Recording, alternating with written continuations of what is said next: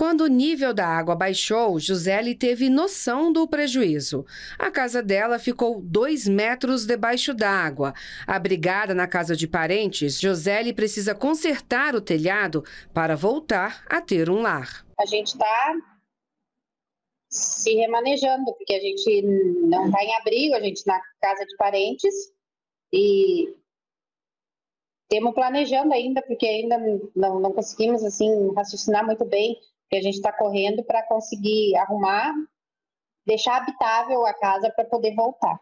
O imóvel da Josélia é financiado pelo Minha Casa Minha Vida e por seis meses ela não vai precisar se preocupar com o pagamento das parcelas. Vai ajudar muito uh, até a gente conseguir se equilibrar, porque o mês está passando e a gente precisa pagar as contas, né? A possibilidade de poder, assim, postergar o pagamento para nós hoje é é uma, uma boa opção. A pausa nos financiamentos habitacionais contratados por meio da Caixa Econômica Federal vale para todos os moradores do Rio Grande do Sul que foram afetados pelas enchentes.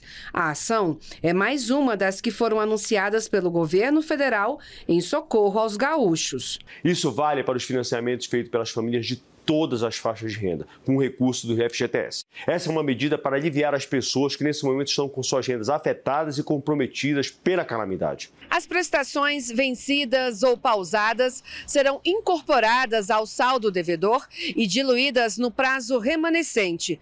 Mas atenção!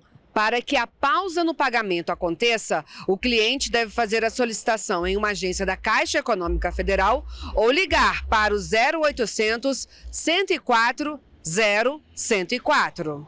Ainda eu tenho casa, a minha casa ainda ficou de pé, né? Tem que consertar. Mas tem pessoas que perderam tudo. Tudo. Só sobrou os escombros das suas casas.